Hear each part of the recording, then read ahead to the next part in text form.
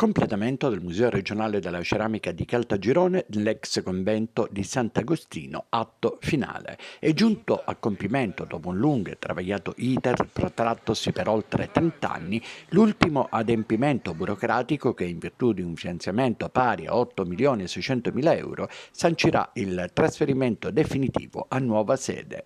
Oggi alla presenza del presidente della regione siciliana Nello Musumeci è avvenuto l'atto formale della consegna dei dei lavori, il sindaco di Caltagirone Gino Ioppolo. Intere generazioni di caltagironesi hanno studiato, sono stati educati, formati, sono cresciuti, hanno giocato al calcio, hanno fatto teatro, hanno visto cinema qui nell'Istituto di Sant'Agostino. Doveva diventare già da tempo, e sarebbe dovuto essere così, il Museo regionale della ceramica.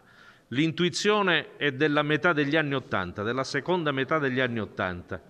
Purtroppo le cose non sono andate nel tempo come dovevano andare e siamo arrivati quindi a questi anni nostri di impegno intenso, costante, indefettibile, ci abbiamo sempre creduto e adesso posso dire anche grazie alla vicinanza di questa amministrazione che ho l'onore di guidare con una regione siciliana guidata dall'onorevole Musumeci, il sogno tanto inseguito si realizza e tra due anni questo edificio risplenderà come quando sorse ovviamente nei due secoli fa. Le fasi progettuali sono state curate e coordinate dall'assessorato ai beni culturali della regione siciliana. L'onerosa somma di circa 9 milioni di euro consentirà di pervenire all'adeguamento dell'imponente stabile che come si ricorda è una struttura a tre piani che si estende su una superficie di oltre 2000 metri quadri caratterizzata dalla bellezza dell'antica cripta che, per come si evince dalle immagini,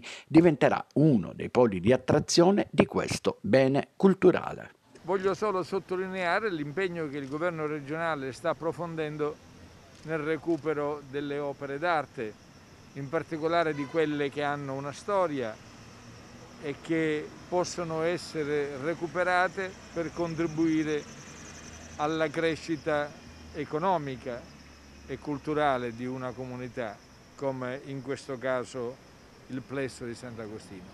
Abbiamo altre iniziative in programma, eh, anche nella città capoluogo. Nel Calatino stiamo operando una selezione di progetti perché il grosso problema è legato alla mancanza di progetti esecutivi.